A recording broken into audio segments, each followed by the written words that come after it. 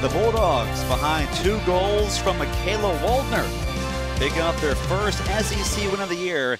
They knock off the Missouri Tigers by a score of 3 to 1 here at the MSU soccer field in Starkville, Mississippi. Alongside Robbie Kroger, I'm Anthony Craven. And Robbie, just a fantastic result tonight for Mississippi State. Yeah, great result for Mississippi State. An early win in the SEC is just gold. It's gold for the SEC tournament, and the coaching staff of Mississippi State are going to be ecstatic.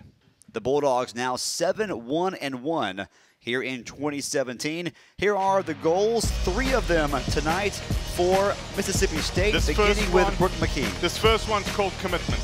Commitment by McKee, puts it in the back of the net, just an exceptional forward goal. And then Michaela Waldner gets her first of two goals in the 22nd minute of the first half. All set up by Peyton Grunewald and a great poaching goal by, by Waldner. Darcy spills it, Waldner poaches it, puts it in the back of the net. And then the nail in the coffin late in the match. In the second half, Waldner again, right place, right time. Just patient, patient when the ball came across her, and she placed it perfectly. The lone goal tonight for Missouri got them back in the match, Robbie, late in the second half. Yeah, Relihan had a great game. She came on as a substitute in the first and second half and, and really put Missouri in a place where they could have come back to tie up the game. A nice night all night long for the Bulldog goalkeeper, Kat Perez. Yeah, Kat Perez, these two double saves kept Mississippi State in the game. And then she just made saves in the second half look easy, just plucking them out of the air like this, this save against Trujillo. Perez was good.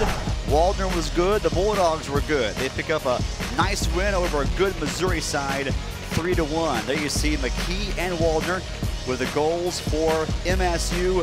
Relihan the lone goal for Missouri. Missouri now 5 5 and 1. Their three game win streak comes to an end. Our next broadcast from Starkville will be when Auburn takes on MSU September 29th, next Friday, 8 p.m. Eastern, 7 Central, right here on the SEC Network.